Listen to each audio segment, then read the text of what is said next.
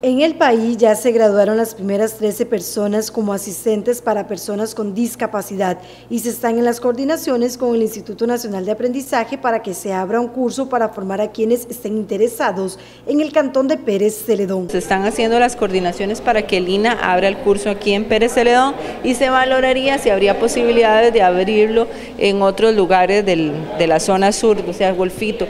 ¿Qué es lo que pasa? Que el programa no estaba previsto, ¿verdad? Entonces no es, no es tan necesariamente eh, indicado para los centros. Lo que estamos haciendo es una labor de negociación para ver algunos centros que tengan disponibilidad de espacio para poder abrir los, los, cursos. El cupo por curso es de unas 15 personas. Se tienen que comunicar al INA, al Instituto Nacional de Aprendizaje, o lo pueden mandar al Consejo y nosotros igual lo referimos.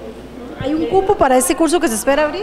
En general ahora se están abriendo cursos de entre 15 personas como máximo, eso por la, la, labor práctica que tiene el programa y también por la disponibilidad de espacio de los centros de formación, pero podría variar de acuerdo al centro. Tiene la duración de 166 horas. El curso digamos, está pensado en horas, dura aproximadamente 166 horas y esas horas en tiempo, meses o semanas, dura dependiendo de la disponibilidad de las personas. El grupo que se acaba de graduar iba a clases creo que de lunes a viernes, entonces eso hizo que el tiempo del curso fuese más pequeño. Si las personas solo pueden dos veces a la semana, eso haría que el, grupo, el curso dure unos meses más. En el caso de los asistentes personales que ya trabajan en el Centro Morfo, dijo que se están definiendo para conocer si se pueden acreditar como tales. En ese proceso se tiene que valorar con el INA, como el INA lo que hace es certificar competencias y habilidades, el INA tendría que abrir el proceso, certificar y determinar si pueden hacer algunos exámenes, si deberán hacer tutorías, pero aún está en el proceso de estudio cómo se va a hacer o si algunas personas quieren llevar el curso como el resto de los asistentes. Si alguna persona está interesada en llevar este curso, tiene que llamar a Lina